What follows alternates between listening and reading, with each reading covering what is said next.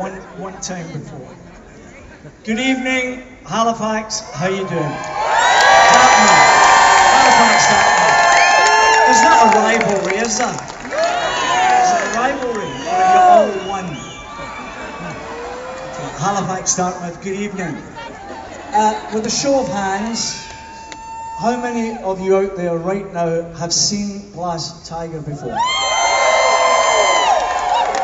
That's pretty healthy. That's not bad at all. Okay, of those of you who raised your hands, how many saw us in 1986? I think so. Might have. Where the hell were the rest of you? Oh, I wasn't born yet, Alan. Okay, so here's what we're going to do. I'm going to dedicate this next wee song to those of you who saw us in 1986. And for the rest of you, this is our brand new single. It'll be on the radio next week. I'd kill for a cup of tea.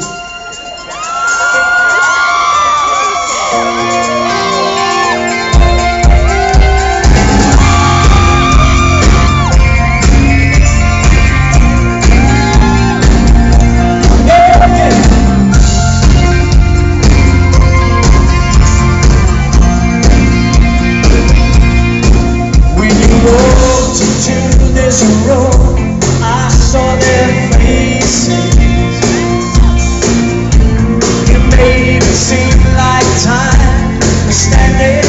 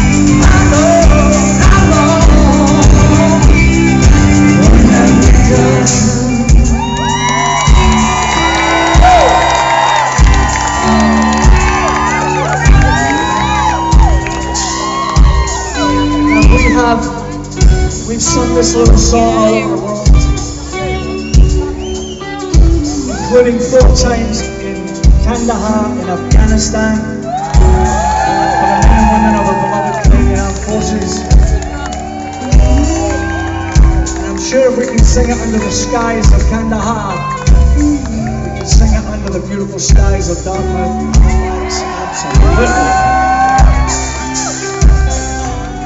So you have no excuse. I always like to teach you the lyrics. You listen carefully, they're very, very complex. It goes oh, oh, oh, oh, oh. Oh, oh, oh, oh, oh. That took me about a week to come up with that. Then it's love. Love gives life. And life is love. And if ever this world could use a wee bit of loving, just turn the telly on. Alright, are you ready? Right up the back, here we go. One, two,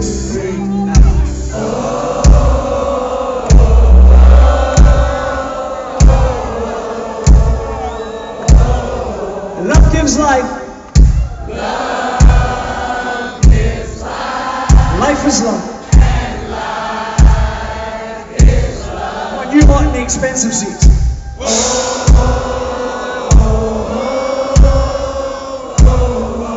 Beautiful.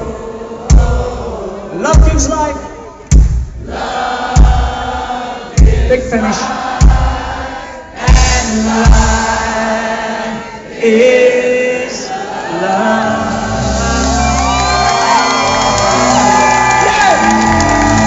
Fantastic. Fantastic.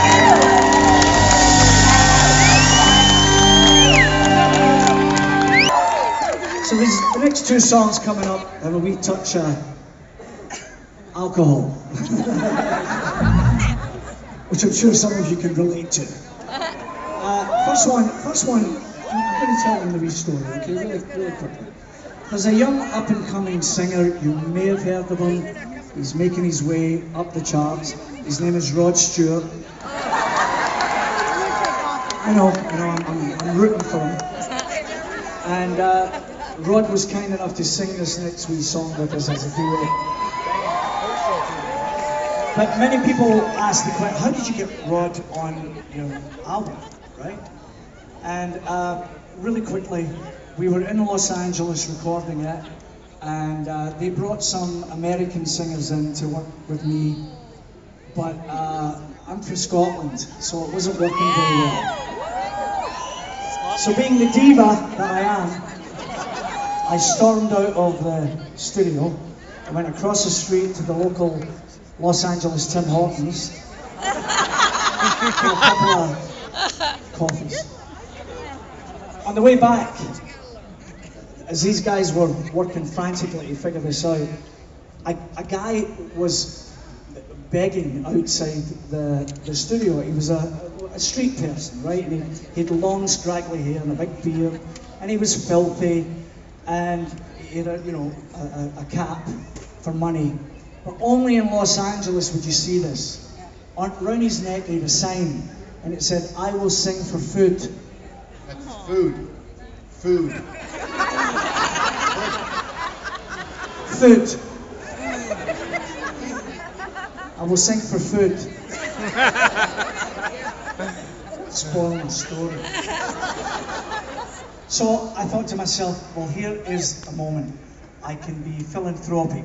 I can go up to this guy and I can say, let's take you in the studio, and if you're any good, you're any good, we'll use your voice on the album. And if you're not, I can feed you. And then, you know, I've done a good deed for the day, right? Makes sense, right? So I went up to him and I said, Rod,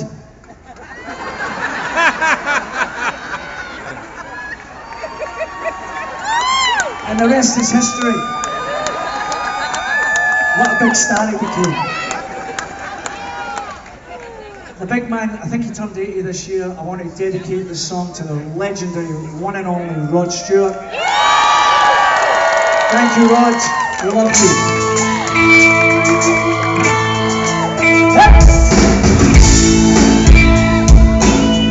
Nova Scotia.